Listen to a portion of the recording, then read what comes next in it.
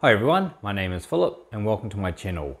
I recently got myself some PowerColor AMD 6900 XTs and I've set them up in HiveOS and today I'm going to share my overclock settings and the results I'm getting. My uh, AMD 6900 XTs have been running for almost a week on these settings and I'm getting a uh, very constant uh, sort of 63.6 uh, mega hash from them. Um, I'm using a, a, core clock of 1330 uh, megahertz. I did start with a higher core clock um, up around 1350, but I found I was able to reduce it to 1330, and then that reduced the uh, energy consumption.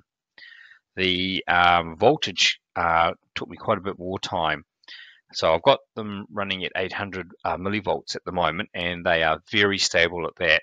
I found I could get down to um, 650 or 700 millivolts on some cards, but what would happen is if I left them running for um, 12 hours or 24 hours, the mega hash kept slowly going down.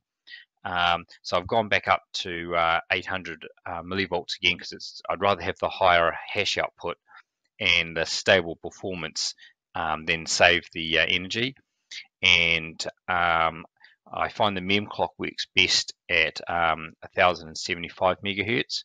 Now, one other thing I didn't expect, and that I found the temperature I run the RAM at quite important. So I use HiveOS's uh, smart fan settings, and I've set a target memory temperature of uh, 80 degrees Celsius. If I uh, increase the, uh, reduce the target to 70 degrees so the fans uh, run faster, my mega hash output actually drops. Um, so uh, I've ended up going for uh, uh, 80 mega, sorry, 80 degrees. It's the first time I've had a card that's sort of been sensitive to the, that as the temperature dropped, the performance dropped. I also did uh, experimenting for about a half a dozen miners and um, considering what you end up getting, which is basically how much the miner um, produces versus less its dev fee, I found uh, Gminer gave me the best results overall. So I've got um, Gminer running on all the cards as well now. Another interesting thing to note is how uh, AutoFan is running the fans at different speeds. So the first card is at 28%, the second card's got the fans running at 40%, and the last card is at 55%.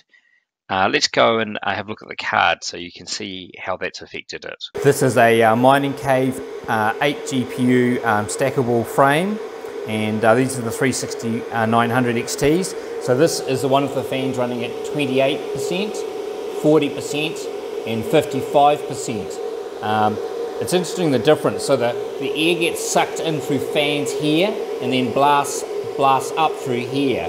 So this fan has uh, plenty of space around it and um, the fan's only run at 28%. Um, now this one is interesting because because the, the, fans end up sucking the air down here over the back plate of this card in front uh, and then it blasts up and they run at 40%. Now this is the hottest one and its back plate is uh, to um, the outside of the mining frame. Uh, it has plenty of clear air but it still um, needs the most cooling. So it sucks the air down which cools this one blasted up here, but there's nothing um, blowing air over the back plate on this card.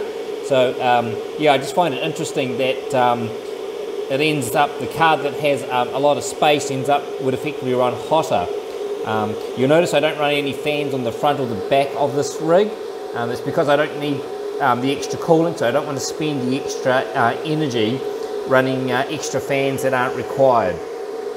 Okay, I hope uh, my overclocking settings for this card are of use to you and uh, happy happy mining. Bye